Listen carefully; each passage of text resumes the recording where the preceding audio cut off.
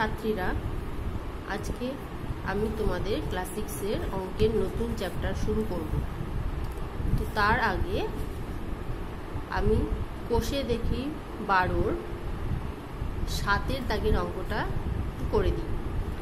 কারণ কেউ একজন বলেছিলে যে সাতের অঙ্কটা পারছ না। তাহলে সাতের অঙ্কটা আমি আগে করে দিই, তারপরে আমি নতুন চ্যাপ্টার শুরু করছি। সাতের অঙ্কটা কি বলেছে?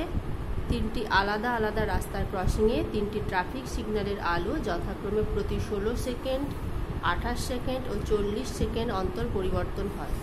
যদি সকাল আটটায় একসাথে আলোর পরিবর্তন করে, তাহলে হিসেব করে দেখি আবার কখন ওই তিনটি ট্রাফিক সিগন্যালের আলো একসাথে আবার পরিবর্তন করবে। তাহলে অঙ্কটা কীভাবে করা হবে?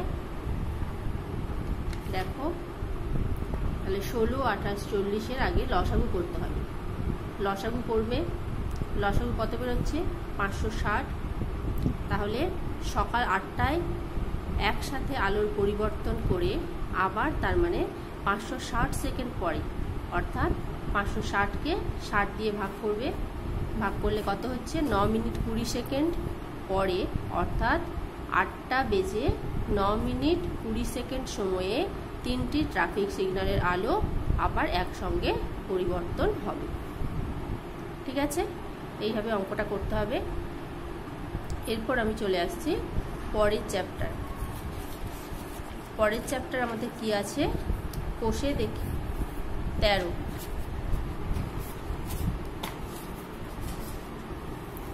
কোষে দেখি তেরো।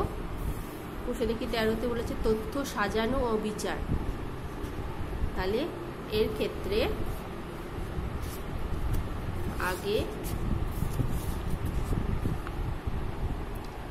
এখন নিজে করি, তেরো পয়েন্ট ওয়ানে একটা অঙ্ক দেওয়া আছে। কি দেওয়া আছে? বলছে, প্রতি বছরের মতো এই বছরেও আমাদের বিদ্যালয়ে খেলার প্রতিযোগিতায় অংশগ্রহণের জন্য বিদ্যালয়ের শারীর শিক্ষা শিক্ষক ষষ্ঠ শ্রেণির ছাত্রদের উচ্চতা সেন্টিমিটারতে মাপলেন এবং যে সংখ্যাগুলি পাওয়া গেল তা নিচে দেওয়া হলো। আচ্ছা এখানে দেখো কি করা হয়েছে? অনেকগুলো, তার মানে এখানে আমরা তথ্য পেয়েছি। ষষ্ঠ শ্রেণির ছাত্রদের কিসের তথ্য? না, তাদের উচ্চতা। কার কত সেন্টিমিটার উচ্চতা?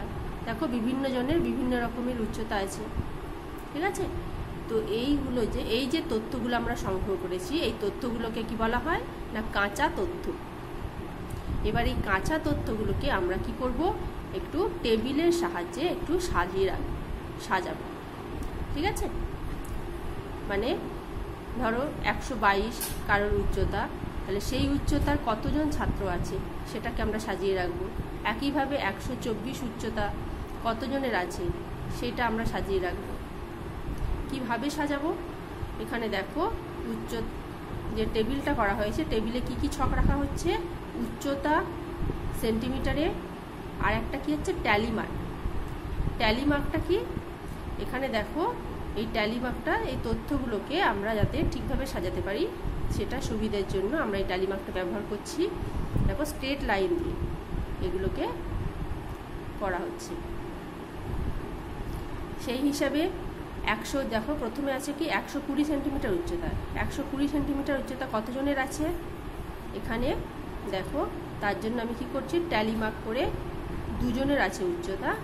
সেই জন্য দেখো ট্যালিমার্ক দুটো দেওয়া হয়েছে। সেই হিসেবে ছাত্র সংখ্যা তাহলে কত হচ্ছে? দুই। এইভাবে একশো একুশ একশো একুশ সেন্টিমিটার উচ্চতা, এর ক্ষেত্রেও দেখো ছাত্র সংখ্যা দুই। এইভাবে আমরা সব পরপর সাজাবো। আবার একশো বাইশে দেখো, এখানে দেখো ট্যালিমার্কে দেখো, যখনই দেখছি আমরা পাঁচজন হয়ে যাচ্ছে, তখন আমরা সেটাকে কীভাবে ভাগ করে নিচ্ছি? নিজেদের বোঝার সুবিধের জন্য ওয়ান টু থ্রি ফোর চারটে স্ট্রেট লাইন টেনে পঞ্চম যে স্ট্রেট লাইনটা সেটাকে আমরা একটু ব্যাঁকাভাবে কেটে দিচ্ছি। এর মানে হচ্ছে এখানে যেটা আছে সংখ্যাটা, সেটা হচ্ছে পাঁচ। তাহলে পাঁচ যোগ দুই মানে সাত। ঠিক আছে?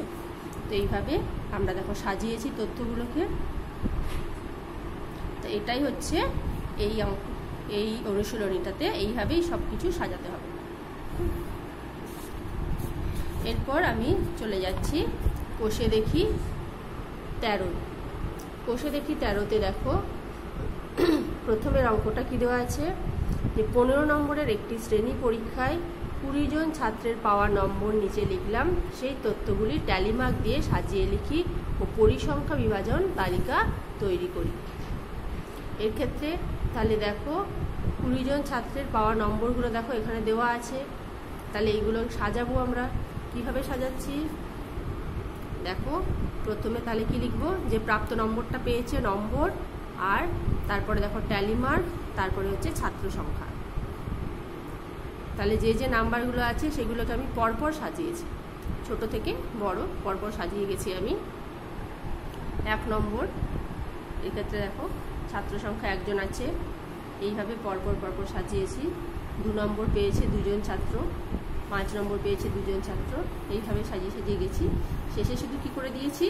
আমি শুধু দেখছি যে যোগ আমার, যে মোট যে কুড়িজন যে ছাত্র ছিল, এটা যোগ করে সেই কুড়িটা পাচ্ছি কিনা। এখানে দেখো মিলে গেছে, তার মানে এই সাজানোটা ঠিক আছে। একইভাবে এরপর দেখো দুইয়ের অঙ্কটা। কি বলেছে? জাহানারা স্কুলে এই মাসে বাইশ দিন ক্লাস হয়েছে, অর্থাৎ পঠন পাঠন হয়েছে। এই বাইশ দিনের প্রতিদিন উপস্থিত কতজন সে লিখেছে, সেগুলি হলো, কতজন সে লিখেছে, সেগুলো হলো কি কি? এখানে দেখো, সব দিয়ে দেওয়া হয়েছে। প্রতিদিন উপস্থিত। তাহলে দেখো, সেটাই লেখা আছে, প্রতিদিন উপস্থিত। তেরো তেরো জন, একুশ জন, এইভাবে দেওয়া আছে। এবার তেরো জন কতদিন উপস্থিত ছিল? একদিন। একইভাবে একুশ জন, একদিন। বা দেখো বাইশ জন, একদিন। একটা দিনে। তাহলে একটা দিন আবার পঁচিশ জন পঁচিশ জন এরকম কতদিন উপস্থিত ছিল? তিন দিন। ঠিক আছে? এইভাবে তাহলে সব তথ্যগুলোকে সাজানো হয়েছে। করে মোট আমরা কত পাচ্ছি? দেখো, বাইশটা দিন পাচ্ছি। ঠিক আছে? এইভাবে তোমরা অঙ্কগুলো করবে। এইভাবে তোমরা হোমওয়ার্ক করবে পাঁচের দাগেরটা।